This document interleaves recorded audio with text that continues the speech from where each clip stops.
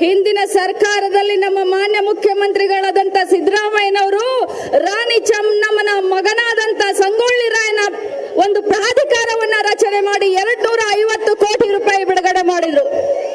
ಇವತ್ತು ನಮ್ಮ ಸಮಾಜದ ಮುಖ್ಯಮಂತ್ರಿಗಳಾದಂತ ಯಡಿಯೂರಪ್ಪನವರಿಗೆ ನಾನು ಒಂದೇ ವಿನಂತಿಯನ್ನ ಮಾಡಲಿಕ್ಕೆ ಬಯಸ್ತೇನೆ. ಕಿತ್ತೂರು ರಾಣಿ ಚೆನ್ನಮ್ಮನ ಆಸ್ಥಾನ ಹಾಳಾಗಿದೆ, ಅದರ ಪ್ರಾಧಿಕಾರ ಮಾಡಿದ್ರೆ ಅದಕ್ಕೆ ಶೀಘ್ರವಾದಷ್ಟು ಬೇಗ ದುಡ್ಡನ್ನ ಬಿಡುಗಡೆ ಮಾಡಿ ರಾಣಿ ಚೆನ್ನಮ್ಮಳ ಒಂದು ಆತ್ಮಕ್ಕೆ ಶಾಂತಿ ಸಿಗೋ ಹಾಗೆ ಮಾಡಿ ಅಂತ ಹೇಳ್ತಾ ಸರ್ಕಾರವನ್ನ ಪ್ರತಿನಿಧಿಸುತ್ತಿರುವಂತ ಎಲ್ಲರಿಗೂ ನಾನು ವಿನಂತಿಯನ್ನ ಮಾಡ್ತೀನಿ. ಈ ಒಂದು ಮೀಸಲಾತಿ ಕಬ್ಬಿಣದ ಕಡಲೆ ಅಲ್ಲ. ಮನಸ್ಸು ಮಾಡಿದ್ರೆ ಎಲ್ಲರೂ ಕೂಡ ಒತ್ತಡವನ್ನ ತರ್ತಾ ಇದೀವಿ ಅಂತ ತಿಳ್ಕೊಳ್ಬೇಡಿ. ಎಲ್ಲರೂ ಸಹಕಾರವನ್ನ ಕೊಡ್ಲಿಕ್ಕೆ ನಾವು ಮುಂದೆ ಬಂದಿದ್ದೀವಿ. ಪಕ್ಷಾತೀತವಾದಂತ ಈ ಹೋರಾಟವನ್ನ ನಾವಂತರೂ ರಾಜಕೀಯ ಮೆಟ್ಲಂತಾಗಿ ನಾವ್ ಯಾರು ಮಾಡ್ಕೊಳ್ಳೋದಿಲ್ಲ. ಅದನ್ನ ಭಾಷೆಯನ್ನ ಕೊಡ್ಲಿಕ್ಕೆ ಯಾಕಂದ್ರೆ ಇದು ರಾಜಕೀಯ ವೇದಿಕೆ ಆಗಬಾರ್ದು, ಧರ್ಮ ವೇದಿಕೆ ಆಗಬೇಕು.